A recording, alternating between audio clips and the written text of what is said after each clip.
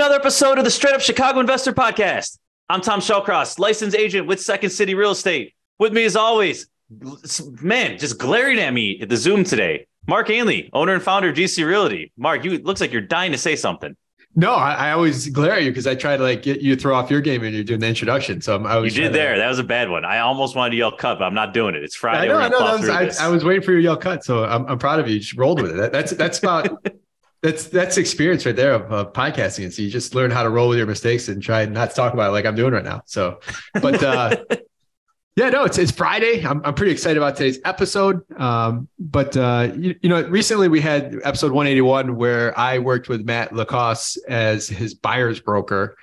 And, and I do that from time to time. I don't necessarily, I just kind of pick and choose opportunities that that I might add the most value to. But you know, you me were talking earlier this week about uh, you working with buyers in like in Portage and Jeff Park and stuff like that. Like, are you doing any of that in 2023? Yeah, still moving ahead there. You know, I, am with with Bree Schmidt at Second City, and you know, if it's in my neck of the woods, if you're looking on the north and northwest side, more than happy to help. If you're looking in, you know, call it Pilsen or some of these other neighborhoods, I, I'll definitely refer you to someone that I think would be a great fit. But when it's in my backyard, like I'm already there, already walking properties all day. So yeah, I, I think that's I think that's the right move. That's the right amount of velocity for me. Yeah. So, uh, any listeners, anybody that uh, if you are looking on that northwest side, people do it to me all the time. They just reach out and ask questions, and, and I point them in the right direction, or I help them if I can. So, anything on the north or northwest on the northwest side for Tom, if, if you're looking over there, you're interested in looking over there, you want to know the opportunity over there, reach out uh, to Tom. You could do it on uh, his email on the website, or you could reach out to straight up Chicago investor uh, at gmail.com. That's, uh, you know, obviously you're going to get the biased point of view though. Born and raised over here. Born, yeah, it's the greatest, the greatest part, of it's the greatest part of America, Portage Park, and, and no crime, nothing ever has happened ever there over ever again. So yeah, so well, cool. What uh, what do we got for the housing provider tip of the week here?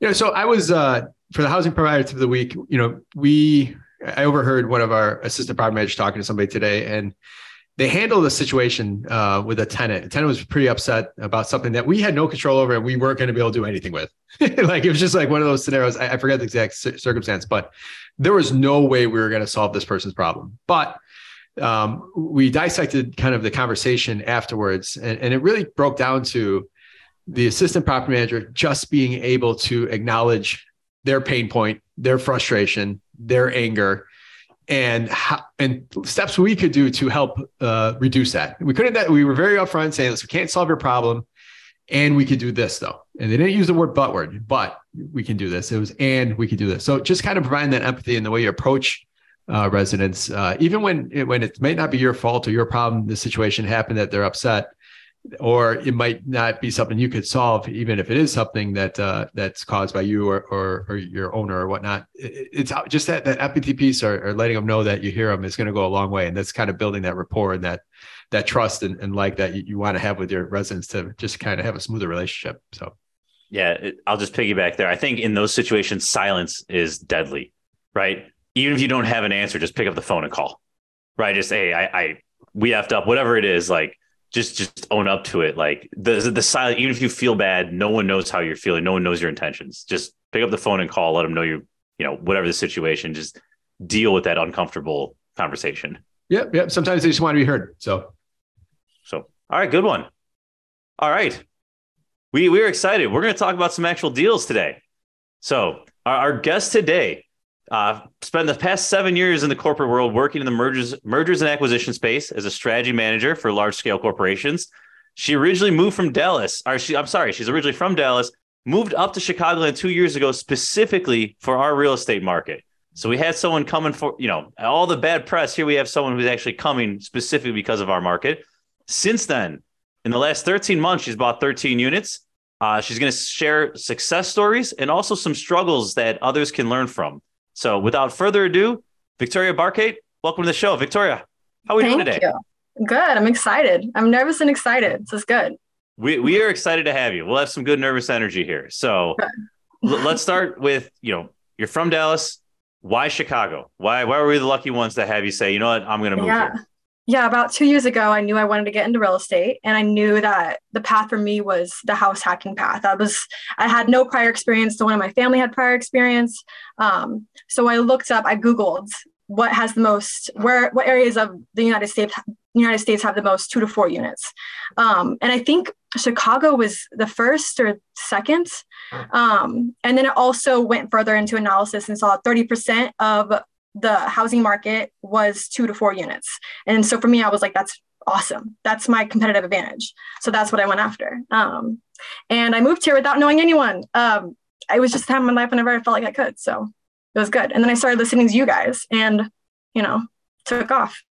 Whew. We're, we're glad to be a part of that journey. So wait, let's let's Yeah. talk about this though. Like you be you move here without even buying the first house though, right? Just like I'm picking up and Oh, I'm doing yeah. this. Like let's let's right. talk about the Yeah. emotions. Like what did your parents say? Right? Like there's it Oh, yeah. sounds it sounds Yeah. so great. It worked out, but like at the time, probably a lot of naysayers. Definitely. Um, my family actually had past they had past failures in real estate, so they were really kind of against it. Um, but I had worked with someone who recently also moved to Chicago. Uh, he was someone I worked with. He was a coworker, and he was interested in real estate. Had no experience either. He's an engineer. I'm a consultant. Like we just we have no idea what we're doing. But it was good because we both had money, and so we uh, we had money saved up specifically for this. So that's what that's what made it less scary. I think is that I knew someone else was in it with me um, to kind of go along the ride. So, What? So you said your, family had some past failures, and you don't have to dive into the specifics, but w- what was it that you saw in yourself that you knew, like, I'm not going to let that uh, happen? shape? Or Yeah, I'm that, not going like, to let that me. shape my future. Like, how'd you how'd you look at that and, and kind of overcome that that thought? Yeah, um, they invested in single family, um, and I knew that. Like my my thing that from my mind was just I need to get I need to be able to save money on rent. I was paying like two grand a month on rent, um, and I just I knew that if I did that, I would save twenty four thousand dollars a year. It'd be that's a lot. Um, so that strategy I think is much different than their experience with evictions, with having the property actually fall. They invested in 2008. Um, so it's there's a lot of things that I just think didn't really uh, measure over. So yeah. I am a huge Alex Hormozi fan. I, don't know, Tom, if you if you were on his YouTube, but uh, he I watched one of his shorts yesterday, and it was uh, it, the, it's so simple. Like he's like, if you save fifteen hundred dollars a month for thirty years, you'll be in the one percenters. Like the the um, it, it was just like a like I'm like, oh wow, like it was anyone that doesn't follow Alex Hormozi needs to. He, he's just awesome. He's got just such great knowledge drop all the time. Good stuff. All right, so we have 77 designated communities here. How like you know coming to Chicago, like where did you have an idea of where you wanted to focus? Like let's talk about landing here. And, and Well, how'd you even there. know where to rent? I guess like let, let's hear that that mindset even. that was hard. Um, it just I like I visited the the so when I came to visit um a friend of mine, the guy that had moved here, the the coworker of mine that she showed me around different apartments to rent. Um, he showed me because he had just moved a month ago. Um, and so he showed me Wicker Park, he showed me West Loop, you know, all the like the standard places that consultants would go and move. Um, and I just fell in love with Wicker Park and I was like, okay, this is where I'm going to buy because this is just easier for me to figure out one spot um, and just kind of dive in from there. So you just kind of got to go with it. Okay. So, Yeah. so we get here, and then uh, if I'm not mistaken, the first property you buy, it's the four unit in Humboldt Park that we had spoken on before. Is that correct? Yes, yes, that's right. Um, All right. So, Yeah. so talk to us there. Like, how did you start looking? What did you make offers on other places? Like, just getting that ball rolling for someone who may be in Yeah. the same shoes that you were in. Right. So this was this was last year, like around January timeframe, 2021, I believe, January, February. Um, and so prices, like the market back then was like the rates were so low. Um, so prices were jacked up. This was like the best time for prices to go up. And so we were um, we were looking at a lot of four units um, in Wicker Park area. Um, and we put an offer on uh, one of them. It was pretty high. It was a pretty high, but it, but with the rate, it just made sense with um, with the property. It was a turnkey property, and that's what we decided we wanted to go after. It was turnkey because again, we don't know what we're doing, um, and we wanted to have something that was a little bit more safe.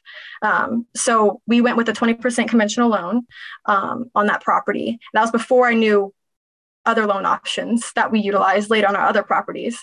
Um, but that's that's how we found that one. It was just tip, it was just on Redfin. It wasn't anything special, no special strategy there. Um, okay.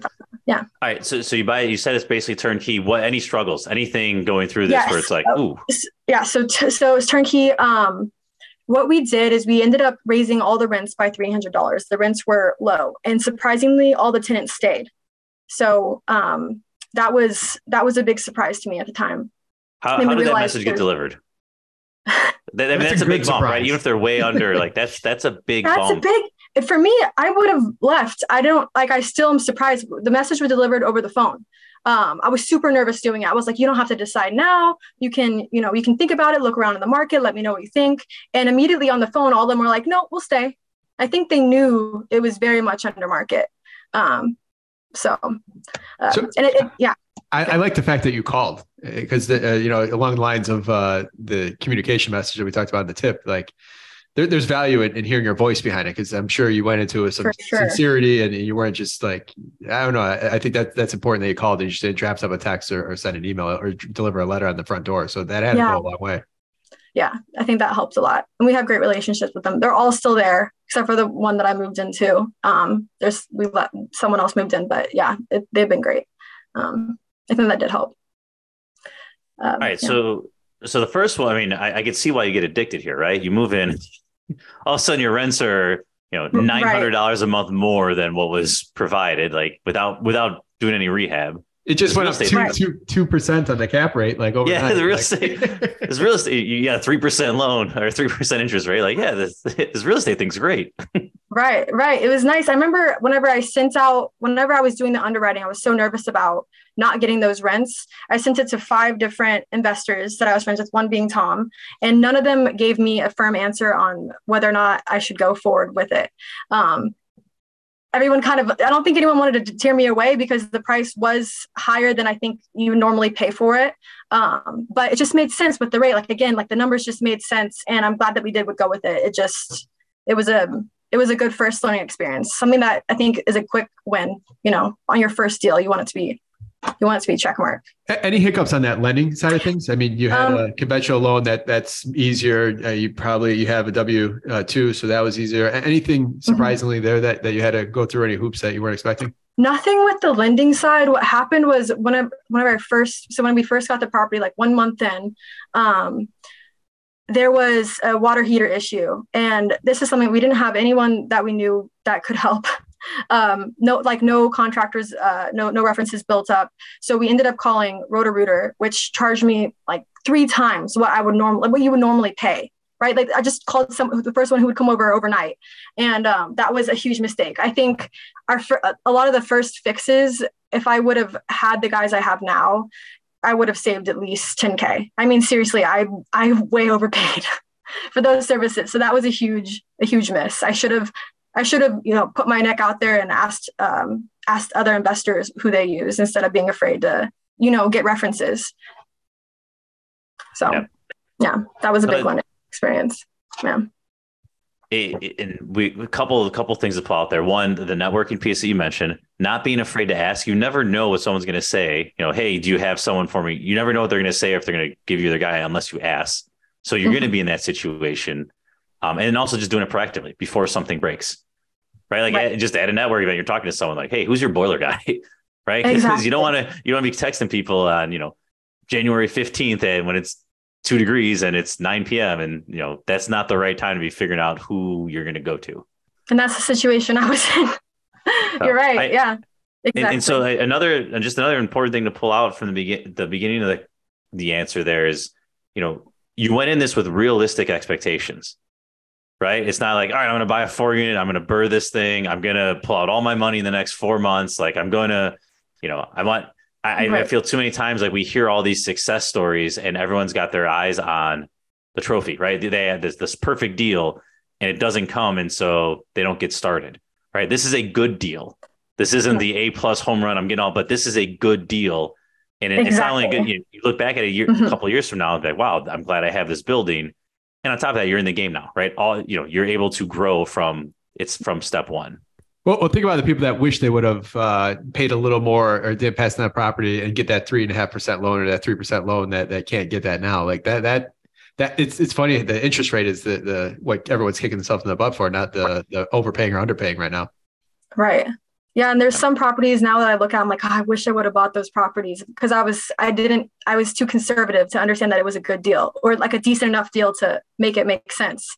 Like, there's so many times whenever I, I look back at that too. Um, I, can't drive through the city without having that feeling. So that's something Really? as a real estate investor, you you, you always you, you always like, ah, I wish I would have bought that's that good. one. That's good. But then there's always the feelings like, thank God I didn't buy that building. So th- those actually are, are way better feelings. Yeah, exactly. Very true. All right. So, so what's the next building? Okay, so um, this next one, so I think it's the, what's interesting about this one is the way I found it. So I'm running out of cash at this point. I know I can't purchase the same size building I had last time, and I have to do it with a different type of loan. Um, I was introduced to some lenders who had a 5% conventional with a seven year arm, 10% conventional with a seven year arm, no PMI. Um, and that's what that's the kind of loan that I needed to keep be able to grow. And of course, remember, I still have a partner in all this. Um, so I was trying to find off market properties. So I saved up all my PTO for that year. And in December of last year, I took a month off um, and I set up a method to find off market properties. So what I did is I used a PropStream to find my to find my list of properties. And then I used, I hired someone on Fiverr to go do, um, what's it called? When you like find the number and you find, skip, Skip trace. tracing. Yes, skip tracing. So that's how I got my skip tracing. And then I went and used launch control, with this, which is like a mass text messaging type of service.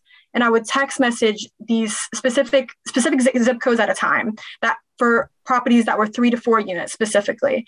Um, and I would come at them with like a, I would tell them, you know, hey, I'm a landlord. I'm on the cross streets of this and this. We just had this building. We want to grow a portfolio. I'd like a chance to talk to you. If not, you know, it's just great to meet another landlord in the area. I like to keep my ear to the ground um, kind of thing. So I had actually really decent results with that. I had about, um, to give you numbers on this, about 30% of the text messages people responded. And of that percent, about 40% of them were positive. And when I mean positive, I mean like it wasn't like a harsh no. It wasn't like a, you know, F off. So that was positive to me. um, uh, and I actually went out and spoke to some of the folks that I that I got positive responses from and gave them offers. One of them, and this leads to my next one. One of them, um, the guy was already selling his portfolio. He had like 55 units, and he sent me the link to it on LoopNet, and it was like 55 unit. It was like it was almost being sold as like a commercial property, and I could not tell from the listing that there was several four units in there. And I think that was huge. I was like, okay, bingo. This is might be a competitive advantage for me. And it was um, one of his four units i and the numbers worked out on. Um, this was a modernization. So we just had to modernize like the bathroom and the um, kitchen. So um, it was a, legal three unit or sorry it was a three unit with a legal fourth attic unit that we ended up turning into an attic Yeah. Oh, So- before we go any further, you literally banked your PTO and you planned to take an entire month off so you can focus on real estate investing. Like, I Yes. just want to take a Yeah. second and, and listen to that that that forethought, that planning. Like, oh man, stop making excuses, everyone. like that that is that is like awesome. Like, I, I don't know, that, that's so cool. I actually told everyone at work that I was going to um, like Thailand because I was afraid they would like they would judge me for it. You know, like oh she's trying to get out of this job. You know, that just sounds so bad. But yeah, I think that helped so much. Like I I don't think I would have been able to find the property without that because it took so much effort just to get to the point to find the off market properties. Um, and then once I went back to work, I still hadn't found it yet. I had to keep on doing it, but it was already had my process set up, so it was so much easier. It was just so much easier. Yeah. So the the tech the mass text the uh um, you, you did that all Wicker Park. You, you you stayed in the same neighborhood, correct? Wicker Park, Avondale, where else? I like it. Um, yeah, I think I started in Wicker Park and Avondale, and then one uh like one other spot. I can't I can't remember. I were think you it in, was were you Humboldt and Logan or no? um yes, actually yes, Humboldt and Logan yes, but it was like yeah, it was like well I would there is some part of six oh six two two that is Humboldt, but that was that was the area I stayed in. The east side of the oh park over there. Yeah, yeah. All right. So, how did you know to do this? Off like, wh- wh- where did you gather information? Right. A lot of people might be saying, "Hey, I got the I got the grit. I'm going to go through with that, but I don't know how to get started." Like, is this just going on BiggerPockets, talking to people? Like, how do you find out? Like, all right, I got to get props I got to do this because it's not rocket science, but there's also no manual out there. Right. Um, there's a lot of free education on YouTube. I mean, there's a lot of it. There's a lot of people that do this professionally, like as their day job, and get paid to do this. Um, so I just and there's a lot of free content. That's how I did it. Just look up on YouTube like how to find off-market properties, and I dived into like a, a little rabbit hole on that. I just did a lot of research on it, and the systems I used were recommended by people that have been doing it for a long time. So didn't really pay for anything, just researched. It's readily available. Awesome. Yeah. All right. It, so it worked, we, yeah. we, get rewarded for our efforts. We end up with another four unit here. Mm-hmm. Now, talk to us a little about because this happens a lot in Chicago. You're buying, you know, there's four units. It's zoned, you know, the zoning cert is going to show a three. Did you have issues with the lender? Like, just talk about actually getting that across the finish line. Yeah. So that was, um, we did a 10% conventional on that loan. Um, I don't. There wasn't really issues getting it across the finish line. It came in as a a, a three unit with an Ill, illegal um, fourth unit, right? And I was okay with that. Um, I wouldn't say there was issues there. What what ended up happening is literally like a couple weeks later, another property came up that was a really great deal, right? Like they all just seem like such great deals whenever you're you know um, hustling like that. And um, I decided, okay, we're going to underwrite it. I'm going to go and underwrite this property as well. So I also, like a month within the same month time span, had closed on two properties, two four units. Sorry, one three unit with a legal fourth, but and then one four unit um, with an illegal fifth unit.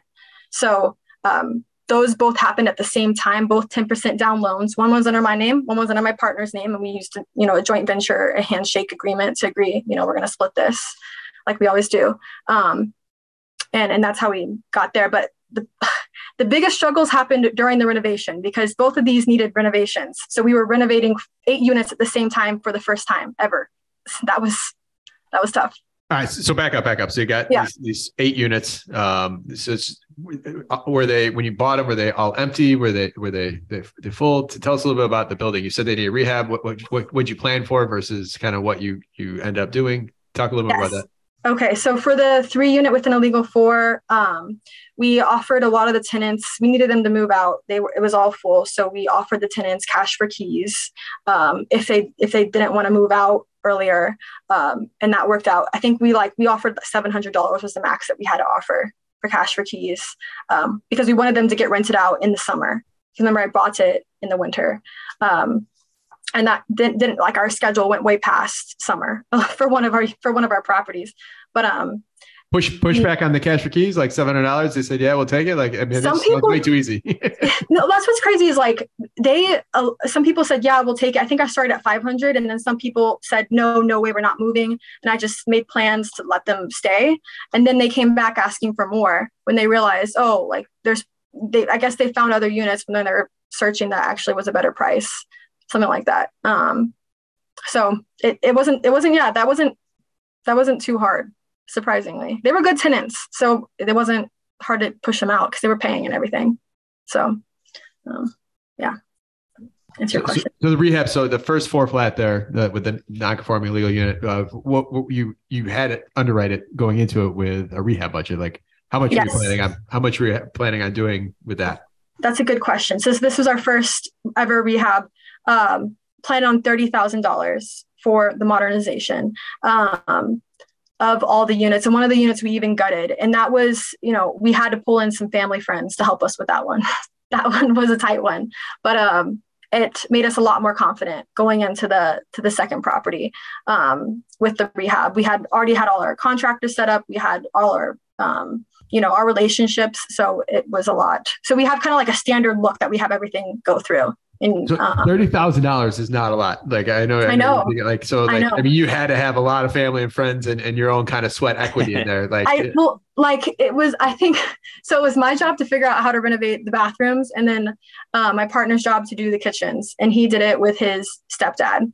Um, so a lot of help. He just come over to our house and then help us. He lives in like Ohio, so um, he drove over here. So that was that was really helpful. What, what um, did you learn about that experience? Like, I think when you're when you're in there trying to figure out how to do things on like listen, that that's that's shoestring. like like like what did you learn about yeah. Like, the the uh, rehab business, I guess, and going through that?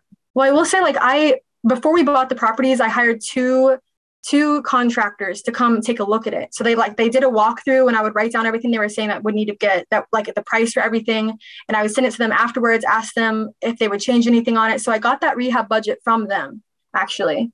Um, and I'm not doing like crazy stuff. Like it's again, it's just like replacing like I'm not replacing the I'm not replacing the um like the cabinets. I'm just, you know, doing you know, new granite, um, stuff like that, new flooring, um, which my partner put a lot of uh, sweat equity into. Um, so a lot, a huge learning process, and we got mad at each other quite often during that process. yeah, it was it was not a fun summer for me. I'll say that. So the whole time, those four units were empty then, as you're trying to do this work on that that first building. What was that? The all all four units were empty while you're doing this. So were you doing all the units what? at one time? Yeah so three of the units were i was doing at one time for this first building and the one of one of the tenants stayed um, was in the bottom unit. We had them keep paying. So that, that helped out with our holding costs. It helped out. did they complain at all during construction? Were they cool or like? This tenant was really cool and we also like decreased her rent a little bit okay. because she was so cool about it. And she still like keeps an eye on everything. Like we live next to like section 8 housing and there's a lot of issues over there too so she always she always helps us um, it's, like so imp- i can't even like the amount of times like my tenants having good relationship with my tenants has come through for me in different situations like like yeah it's it's it's been helpful. So i'd say having good relationship with your tenants. Um, one other thing i did learn that i would say something that i messed up on too when i first um, got into this was i had a tenant that they we asked them to move out right the cash for keys. And i was supposed to give them a security deposit back within i think 45 days is the requirement on the RLTO i have forgot to give it back to them. I, I just I, I completely forgot. And it was like day 60 and they messaged me saying hey because you know you, you forgot to give it back to us or you, you forgot to give back the social security deposit the security deposit. I think you have to give them like one month's rent or something like that. That's like the fee for it. And they knew that. And they messaged me and they said hey because because you were nice to us we just want the security deposit. And I was like, yeah, of course, you know, so they could have got me there. Um, so that was really, really nice. Three times plus attorney fees if you end up in court with something like that. Really? So, so oh, very, uh, your report dodged a bullet there. So that's cool. seriously did. Yeah. They could have gotten that. Yeah. Talk to us about the other four flat. You, you cleared that one to cash for keys. You got, you got them all out. You got, uh, say similar type rehab. Tell me about that. Um, so this one was a little bit different of a rehab. I'm trying to remember if there were, yeah, there were tenants in all of the units. Um, and uh, we didn't actually do cash for keys for this one. We just uh, their their rental renewal dates were happened to be the, uh, around around the same time that we needed them to be out anyways for the renovations. So it ended up working out um, really well. Uh, we still kept one tenant in while we're doing the renovations, and this one tenant again came to help me in times when I needed him. Um, again, just being good to your tenants helping them out. And I can explain more about that in a second. Yeah, so let's go there. I guess I guess before going there, one thing that you mentioned that I want to pull out is, you know, being having arguments with your partner. Right? I, I think that's, you know, maybe I view the world differently, but you know, I think that's healthy, right? The I, and I don't remember the my Mark, you might have been the one who told me the quote, but it's the the the uh, the lack of conflict is not healthy. harmony, it's apathy. Yeah. Right. Like it shows you, you, you need that, right? In order to push forward, like you need a little bit of back and forth and you shouldn't take it as, I don't know, we're this culture that's like so scared of conflict and like, no, it's, it's okay. It's healthy. It's how you grow. Yeah, in the business world, uh, Peter Lencioni, uh, healthy conflict is, is what they talk about to continue to challenge each other. Um, and it's all about doing it professionally and respectfully. Of course, you can't punch people right. because you don't get your way. But uh, yeah, no. no, it's all about healthy conflict. Yeah. Good. That's All right, good. so I know we talked a while back. You have a tenant horror story, so let's let's jump in because I think this is where the other tenant helped you out. Correct?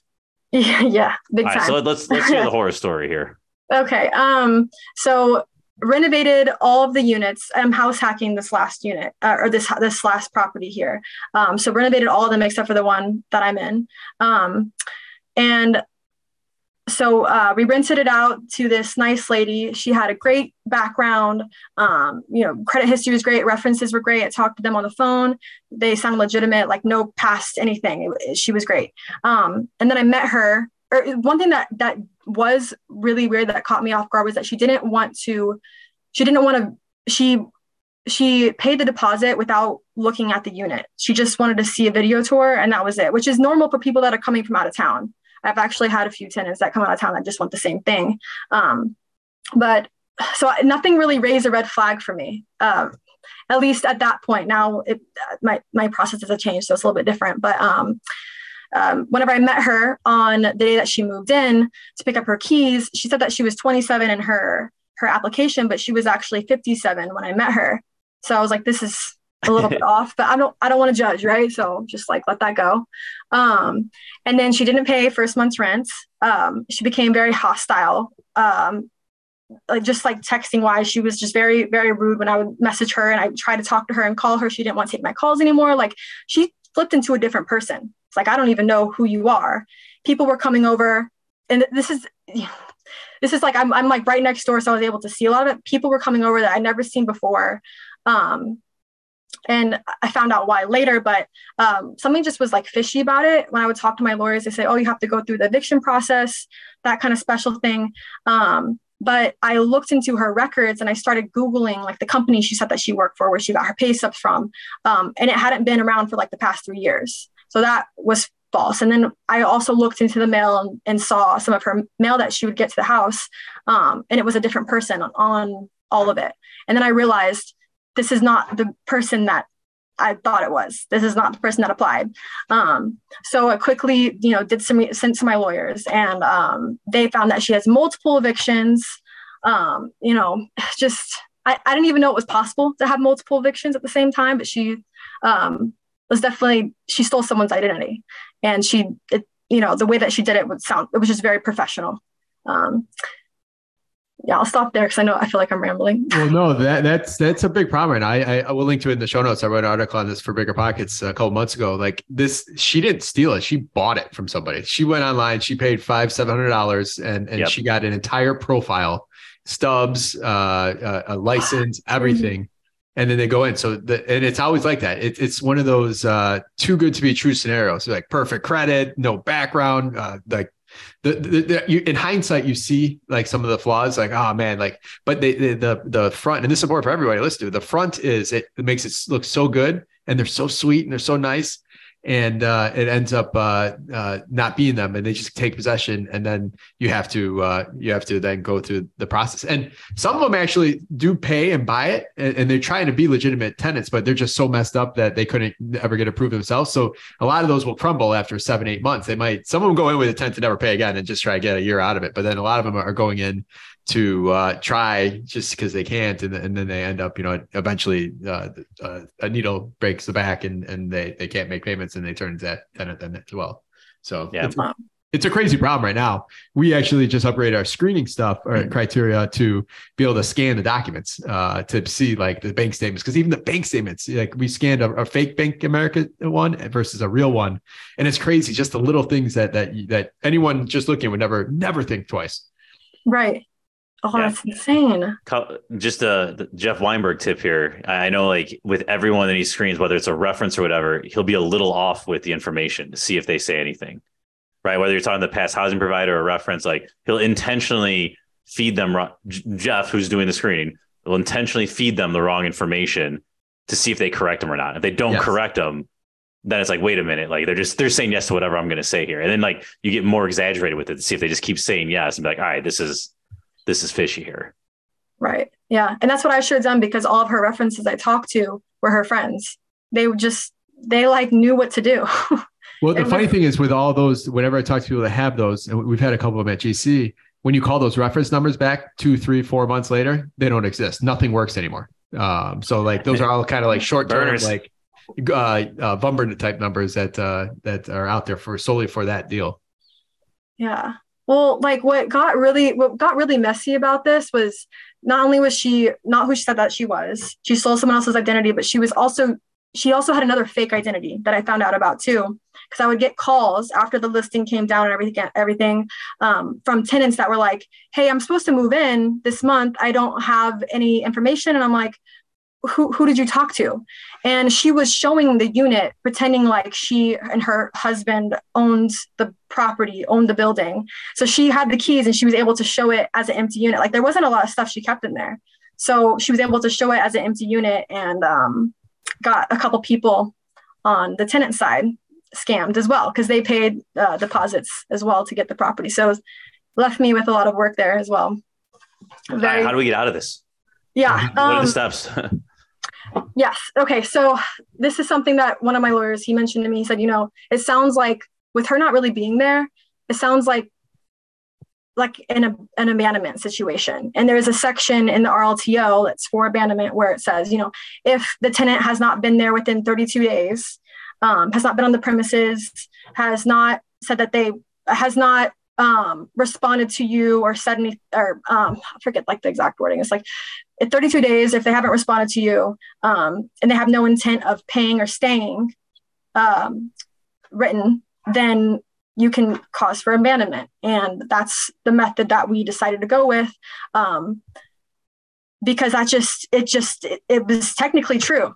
She was not the person that was on the lease. So she hadn't really been there. And um, the, there is a risk to that. And my lawyer mentioned, you know, there is a risk. You have to be okay to take that risk. At this point in time, I was okay with the risk, um, the legal fees that would come up if she ever wanted to, you know, file a lawsuit. Um, you know, good luck because you're gonna have to file as someone that you're not. But um, I was okay with that at this point. So um, she we sent the notice to her um, and i put up cameras so i can find out when she's there and when she's not there. And then there was like a moment in time when i knew she wouldn't be there. I went to my tenant that's above her the one that i'm friends with and he helped me move out all of her all of everything that she had in there. Um, we locked the doors um, changed the keys and um, by the time she came back, I had written the notice, all the notice for abandonment, and then I also written another notice for, you know, you know, falsifying, you know, her records and committing, you know, class two identity theft, stuff like that.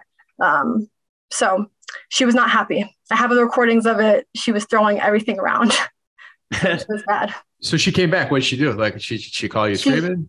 Uh, no, she didn't even try and call me. Like even she uh, she stopped talking to me. She just wouldn't talk oh, talk. So you saw it on the cameras. Yeah, that's how I, that's how I knew she left. And she tried to sneak into the windows, but luckily, um, my partner suggested to put up like the window blockers, you know, like the just this, I don't know what they're called, like the sticks that hold it. Um, but she tried to get in through the windows, and luckily we had that. Um, yeah, she was she was not happy. And she didn't even take half of her stuff with her. She just left and like she had a lot of nice stuff there. I had a lot of scavengers come by and actually take most of it. She never came back. It was very odd. Well, that's good. I'm, I'm happy, uh, happy that worked out with not having further complications like you could have with those risks. Yeah, yeah, exactly. It's, you know, Man, it, yeah, those sleepless nights. A year later, it's a funny story, right? It's it was like I'm telling you though, like yeah, like when you don't know who it is, it you you really do worry about it more than you should. Like it's not like a normal eviction. You it's yeah, it was a lot of a lot of anxiety came out of that, but I'm glad that it's over for sure. So, all right. So we got that building humming along. We, we got past the tenant horror story. Yeah. What's next? Like, are you, are you still actively looking at buildings? If so, where, you know, where are you looking in Chicago? Yes. Um, so I'm still going to be, so for my, my next outlook in 2023, I definitely want to keep buying buildings. Um, still, I'm, I'm planning on doing one building a year. Um, at this point i'm also looking for other partners as well. I think for me like the key is just to have to have like partners will help you build. Um, i think that that's a, a, huge key to my growth is just going to be able to have that.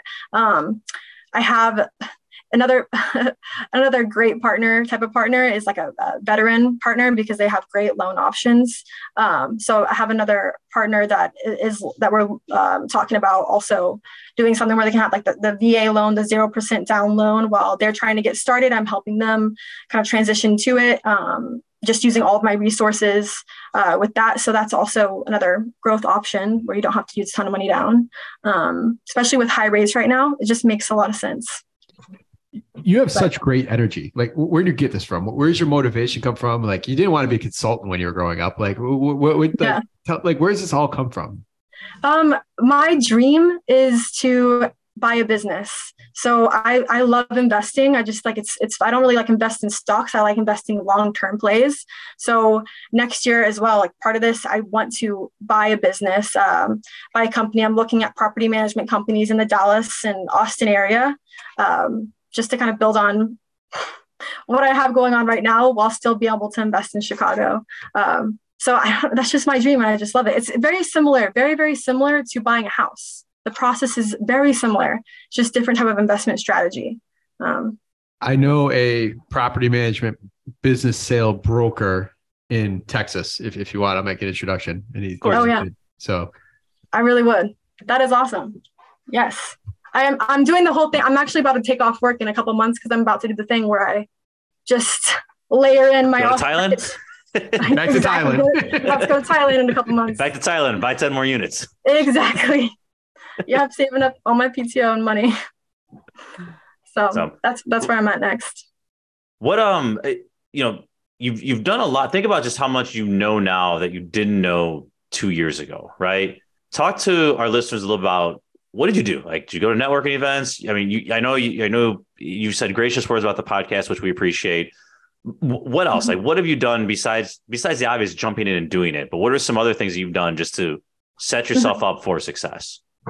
Um, yeah, so I think it's mainly I read. I would read a lot. I would listen like podcasts. I just that's how I get most of my information is through podcasts. Um, I would also network a lot. I would go to all the networking events that they had here for real estate. Um, every single one of them I would go to and just meet people who are also, also doing it. Um, one other thing that I think was huge for me was that I, I for my first three properties, I had um, another investor friendly a realtor that was able to guide me through a lot of it. So, I mean, I, I can't tell you the amount of value that they gave me because I would I was able to leverage all their contacts for their past renovations, what they what they did. Um, so that was so helpful than have rather than getting it on my own and finding it and learning from that. That was that was huge. Um, just having like almost like a they were almost like a mentor, you know, that you paid. All right. So who are the investment minded brokers you're working with? Give them a shout out here uh, John Westbrook um, and Michael Scanlon, who both were on one of your podcast episodes as well. I originally found Michael from um, BiggerPockets, though. He's awesome. just a beast on BiggerPockets. Got he has that blue check mark, so. Yeah, him and Jake are big on there. Yeah, they're big. I, I've, I, just a personal shout out. Like I've used both of them, both Mike and Jake and their team at EXP to sell off a lot of my Southside property. So I've, I've also been a client of them. And then uh, John Westbrook works at the uh, Flora and Blahnik team which I we've used on a lot of our Greystone flips there. So you're in good hands. you go. Yeah, yeah, yeah. They made it happen. So. All right, Tom, you ready to wrap? Let's do it. All right, Biggie. All right. All right. Question one What is your competitive advantage? How have you been able to do this? All these units in such a short time, so much energy, working a full time job. How have you been able to do this while so many people wish they could? My partners it all comes down to my partners, realtors that help me, and um, the, the people, the other investors that have helped guide me through this. If I don't know something, I go and ask them, and they are so willing to help. So, yeah, having good partners. What is the one piece of advice you would tell someone that is yet to buy their first property here in Chicago? Um,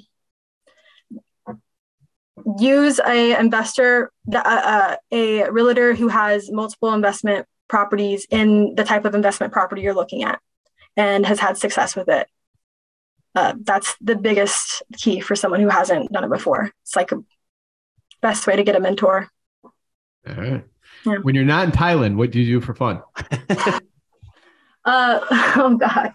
Um, I'm obsessed with buying businesses. That's it. That's what I do for fun. I mean, I truly love it. Like it's so it's I hope to one day buy as many businesses as I buy real estate. Like that's that's a true dream of mine. So You're born to do mergers and acquisitions. Wonderful. Born to, I mean, that's like it's it's sad. It's like my obsession.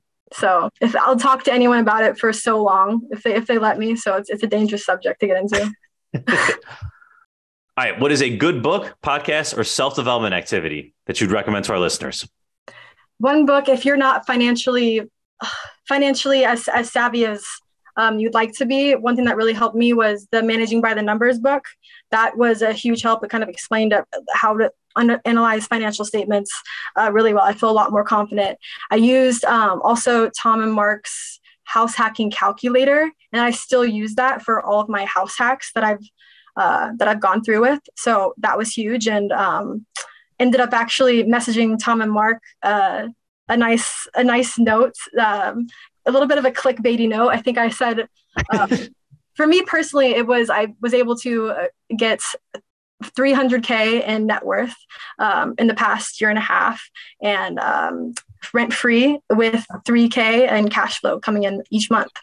In addition, The so click- that is The clickbait was I'm 300,000 richer from listening to your podcast. So I, Good. I, I messaged Tom. I messaged Tom. I said, we got to make that the, uh, the, the title of this podcast episode. Like that's perfect.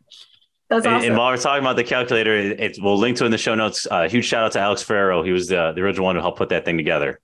And we're still still providing a ton of value to people out there. It really is. Yeah. I recommend it to everyone that, you know, is looking to do the same thing. So, Awesome. Well, we appreciate it. yeah. All right. Be- besides yourself, name one person in your local network that you'd highly recommend as a quality resource to other investors.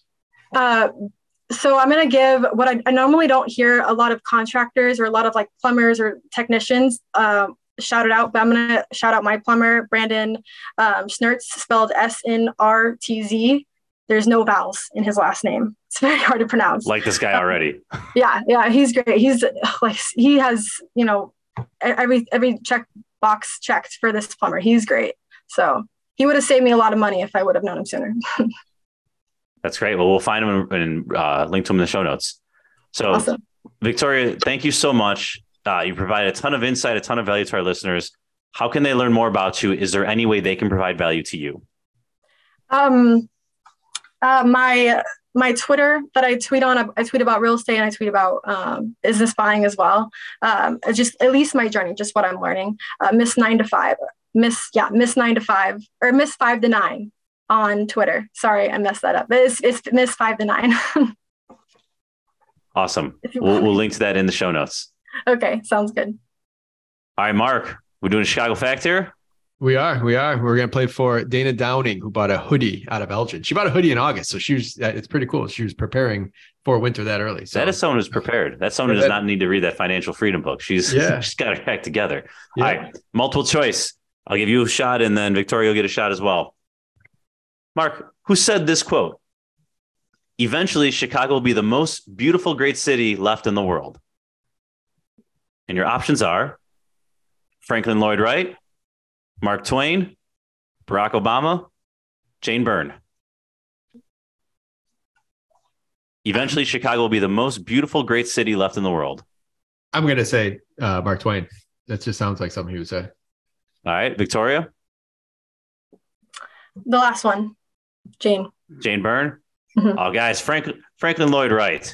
I, I didn't know he he taught. It was I, too I, obvious with the architecture. I've never heard a quote by him. Like his quotes are just like his buildings. Like so, I, I've never even like I, I don't know much about him. I guess That is a valid point. so. I, I eliminated him right away just out of like. yeah those were hard choices the middle two were okay And and Mark Twain's just known for like his sayings and his comments like over the years. So I thought for sure. So, all right. Um, well, I I apologize, uh, Dana Downing. Uh, we will uh, put your name back in and get drawn again. You could uh, win. Buy a T-shirt for the spring. We'll do this again. Yes, and if we know you good now that you're a planner, you'll buy it next month. So perfect. but uh, thank you, Dana, for a person checking out our merch store. Uh, yeah, Victoria, thank you for coming on here. Tom, thank you as always. Listeners, um, go on onto our merch store, buy something, and get your name put in for the Chicago Fact uh, prize that we do every podcast episode. You heard Victoria talk about the calculator, house hacking calculator here today. Go on there, check it out, download it. It's it's it's free. You could use it. It's, it's pretty. It's an awesome tool. Um, you got to check it out and run your numbers on there. Or if you have a friend that you know, you can refer it to them as well to realtors. You could use it for your your clients. So check that out. Uh, Victoria, thank you again for coming on. Tom, thank you as always. And listeners, we'll see you next week. Thanks all. thank you